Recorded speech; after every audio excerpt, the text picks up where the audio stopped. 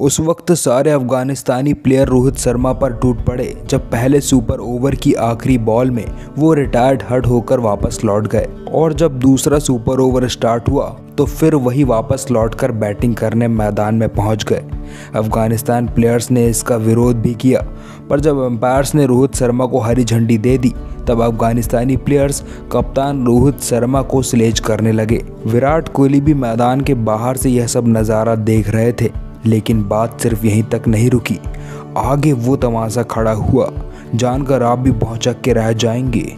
जी हाँ दोस्तों, कप्तान रोहित शर्मा भी मास्टर माइंडेड है। जब उन्होंने आखिरी बॉल में रिटायर्ड हड होकर रिंकू सिंह को भेज दिया, पर जब दोबारा सुपर ओवर स्टार्ट हुआ, तब रोहित शर्मा भी शर्माते हुए मैदान में वापस पहुँच गए। अफ़गानिस्तान प्लेयर्स का सबसे बड़ा खतरा रोहित शर्मा ही थे, इसलिए उन्होंने एम्पायर से इसका विरोध भी किया। वैसे आपको रोहित शर्मा की ये चाल कैसी लगी? कमेंट ज़रूर कीजिएगा। Thanks for watching